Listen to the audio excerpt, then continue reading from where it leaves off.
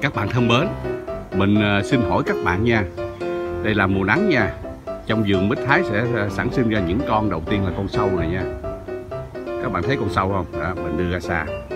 Rồi các bạn thấy ở cạnh dưới này không? Nó đeo cây su đũa của vườn mít thái nè. Cái con này là con gì các bạn? Con bọ xích hay là con à, con bọ xích phải không các bạn? Đây, mùa nắng là các bạn lưu ý nha. Các bạn thấy nè. Sâu ghê không? Sàn xa chút kìa. Đây rồi, đây rồi.